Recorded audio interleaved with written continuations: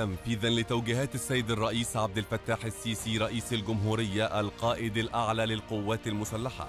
وفي إطار دعم وتضامن مصر مع الشعب التونسي الشقيق في مختلف الأزمات والمحن أقلعت ثلاث طائرات نقل عسكرية من قاعدة شرق القاهرة الجوية متجهة إلى مطار تونس الدولي محملة بأطنان من المساعدات الطبية.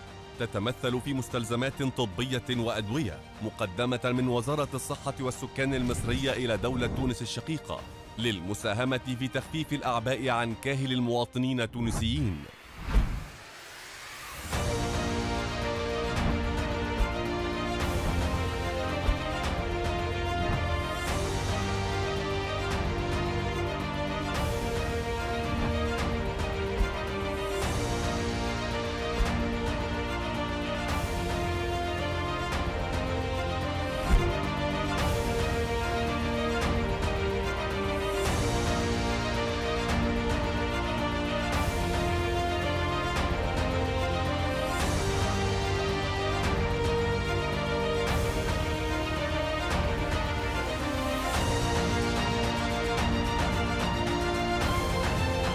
يأتي ذلك انطلاقا من الروابط التاريخية والقومية التي تجمع مصر وتونس الشقيقة وتأكيدا على عمق روابط الأخوة والصداقة التي تجمع الشعبين الشقيقين.